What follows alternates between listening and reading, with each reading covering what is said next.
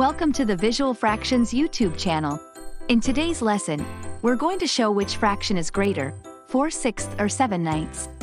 We'll explore this using two methods, equalizing denominators by multiplication and converting to decimals. First, let's equalize the denominators by multiplying each fraction's numerator and denominator by the other fraction's denominator.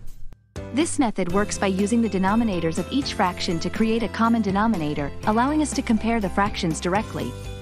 For 4 sixths, multiply both the numerator and the denominator by 9, the denominator of 7 ninths. This gives us 36 54ths.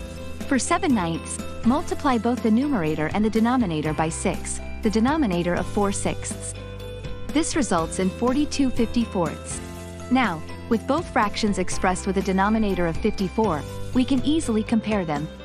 Comparing these, 42 54ths is greater than 36 54ths, so 7 ninths is the larger fraction. For a second method, let's convert each fraction to a decimal. Using a calculator, divide 4 by 6 to get approximately 0.667, and divide 7 by 9 to get approximately 0.778. This calculation shows that 0.778 is greater than 0.667, confirming that 7 ninths is indeed greater than 4 sixths. And there you have it.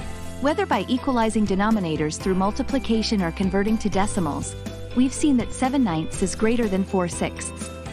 If you found this tutorial helpful, go ahead and smash that like button and don't forget to subscribe to Visual Fractions. Thanks for watching.